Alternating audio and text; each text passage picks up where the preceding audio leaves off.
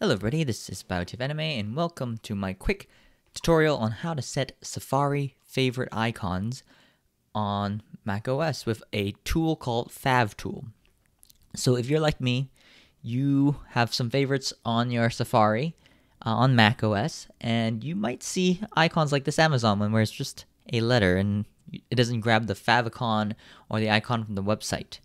Or you might have a icon that you just don't want to use and you want to use uh, your own custom icon. Well, this tool from uh, Shy Neon uh, called Favtool uh, works great for fixing those and also uh, setting your own custom icons. So I'm going to do them both for this Amazon favorites and this Steam link here. So I already have the Amazon one. So I'll open Favtool here. Actually, I'm going to minimize my window here first. Okay, so, and I'm going to actually minimize this too. So let's go here and let's uh, go into Amazon. You, I think Amazon.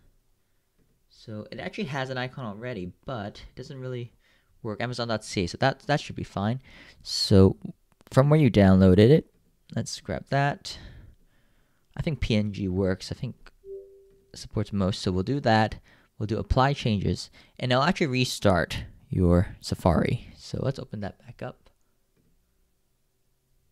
And did it work? Looks like this one didn't work.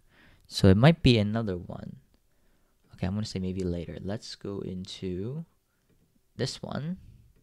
So you will have to kind of mess around a little bit if, if it has uh, multiple links. So let's try this. That in. I'm gonna just do all of them since I want that icon. And you, uh, it gives you tutorials on how to um, go back and restore all your defaults also. But I'm just gonna drag them all to use this one. Apply changes. It'll restart, and there you go. You see, Amazon has the icon right there. Now, say my Steam icon. That's definitely the old Steam logo. So I'm gonna search for Steam icon, and that first one from Wikipedia looks good. So let's save that to downloads. And let's go back to Fav icons here. I guess it'll be NS. So let's go for S Steam, Steam powered. Yep, both of these are it. Even Steam community, but let's go and use this one. So let me open this folder again. Steam icon. You'll have a little check mark here. We'll do it for this one apply changes, it'll restart your Safari. And when I press this, look at that, there's the new Steam icon. So that's how it works. I will put the link for this uh, GitHub page in the description below. You can download it from the latest release. Looks like it's uh, version 4.2.2. So you can download it from here.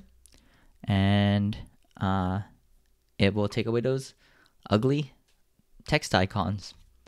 Hope this tutorial helps you out, and thanks for watching.